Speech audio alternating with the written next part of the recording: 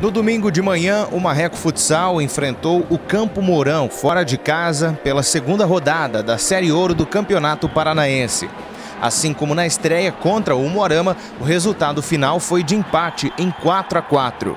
Da mesma forma que na estreia, o Marreco saiu atrás do placar, depois que Max cobrou tiro livre e abriu o marcador. Já no segundo tempo, Emerson recebeu passe de banana e livre finalizou para empatar. Na sequência, o Marreco saiu jogando errado e no contra-ataque, Henrique finalizou de perna esquerda e Quinzinho espalmou contra o próprio gol e colocou o Campo Mourão novamente na frente. Com 14 minutos jogados no segundo tempo, Canhoto tabelou com Renan Fuso e empatou o jogo em 2 a 2. Mário Júnior cobrou lateral, a bola bateu nas costas de Renan Fuso e enganou Quinzinho, fazendo o Campo Mourão 3 a 2. Com um a menos depois da expulsão de Banana, Guina empatou o jogo em 3 a 3.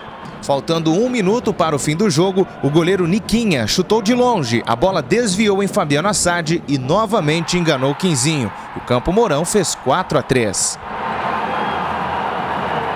A 30 segundos para o fim do jogo, Guina marcou novamente, depois que Emerson cruzou e o placar terminou em 4 a 4.